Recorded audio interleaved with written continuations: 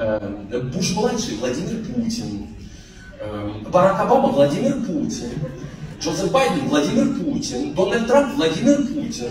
Ну, слушайте, это вот, выбрали когда-то. Вот, и все никак расстаться не можем. Все, никак, никак.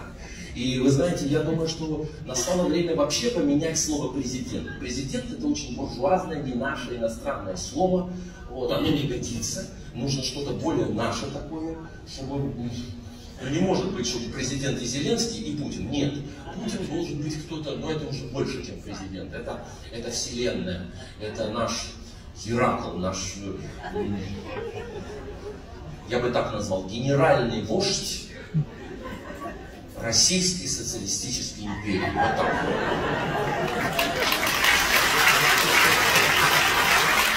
И памятник, поставить такой памятник в Москве, понимаете, такой памятник метров 300, чтобы Церетели отлил в бронзе, он давно не отливал. Вот, чтобы подводная лодка в натуральную величину, на ней батискаф, на батискафе истребитель, на истребителе Лада Калина, на Ладе Калине стоит Путин в кимоно, в хоккейном шлеме, в одной руке амфора, в другой журавли. Сзади у него, чуть ниже спины, рукой у Шевчука написано «Родина».